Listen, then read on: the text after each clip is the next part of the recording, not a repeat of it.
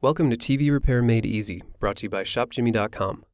Visit www.shopjimmy.com to search the hundreds of thousands of TV parts in our inventory.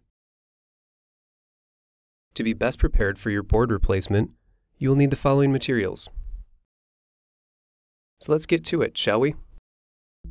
Locate your TV's identification label and take note of the brand name, model number, serial number, and model code if present. Unscrew and remove the back cover.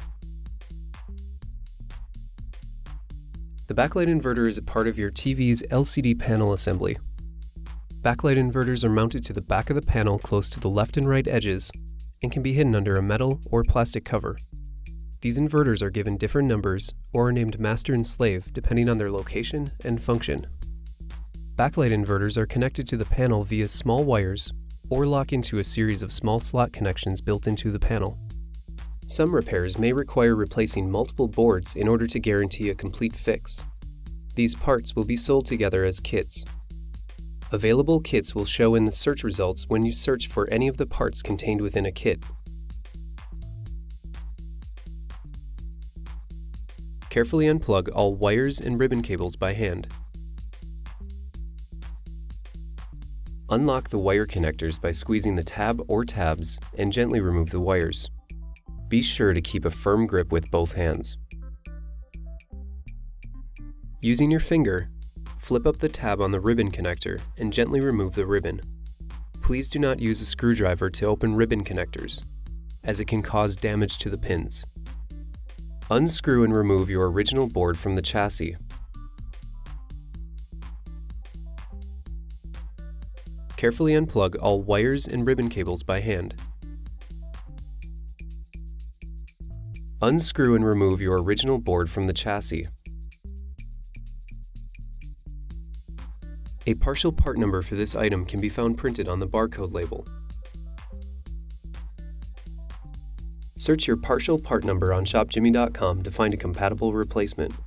Compatible kits will show in search results. Click on the search results to view important product specifications.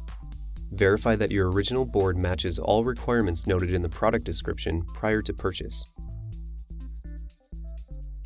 Insert all screws to secure your ShopJimmy replacement board to the chassis. Reconnect all cable and ribbon connections. Gently guide the ribbon back into the connector, match the line printed on the ribbon cable with the edge of the connector, and close the tab on the top. Insert all screws to secure your ShopJimmy replacement board to the chassis. Reconnect all cable and ribbon connections.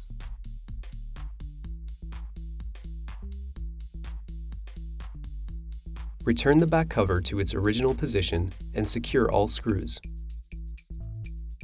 This ShopJimmy replacement board does not require any manual configurations in order to function. Simply plug in and power on, and your TV will function as if new. Thank you for watching one of our many tutorials here at ShopJimmy.com. If you have any further questions regarding your repair, simply post a question in the comments section below or call our award-winning customer service team at the number on your screen. We strive to learn and share new TV repair tips every day. Subscribe to our YouTube channel and grow with us. Share our videos with your friends and help us spread the savings. And don't forget to hit that like button